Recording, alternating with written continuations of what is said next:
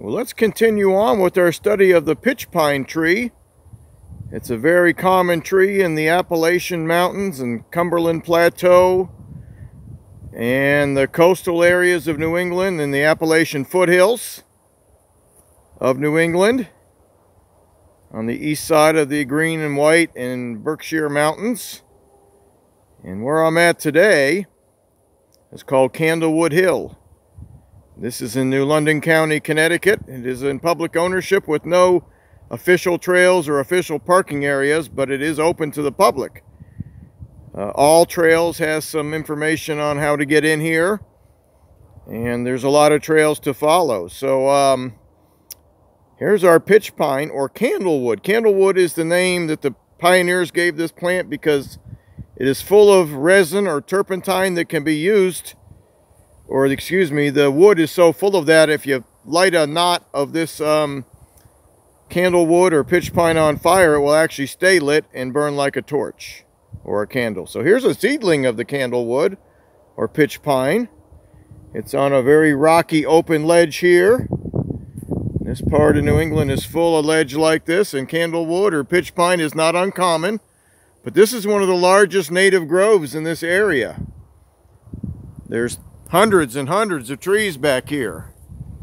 They're all contorted and twisted. They don't really grow straight when they're in a stressful environment like this. They tend to be all twisted and contorted, almost like a bonsai tree. But the fact we have some seedlings coming up there is good news because it would be a shame to see this population um, be shaded out by other species of trees. The good news is, is this area is very thin soil, so it dries out quickly.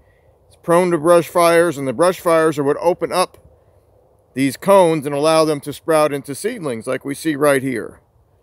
So these plants and the Table Mountain pines are adapted to a fire ecology.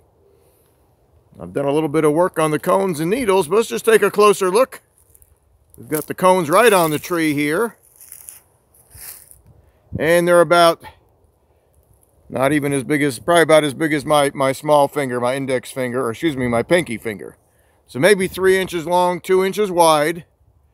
They do have some little barbs on the end, but nowhere near as nasty or clawed as those of the Table Mountain Pine. These are little, little, little needle pricks on the end, but the Table Mountain Pine, it had claws, like a cat. So that's how you can tell the cones apart. These are a little bit more round, not quite as triangular at the end. And our needles come in threes. I think you can see that pretty clearly right here.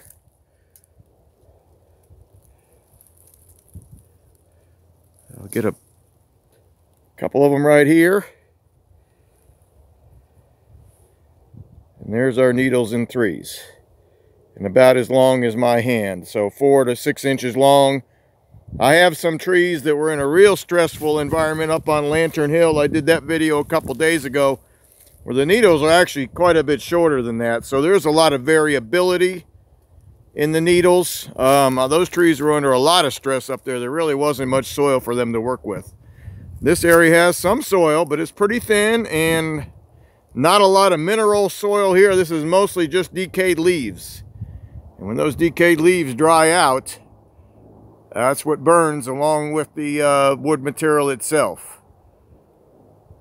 So just beautiful, contorted like bonsai, almost like trees here. They're really interesting.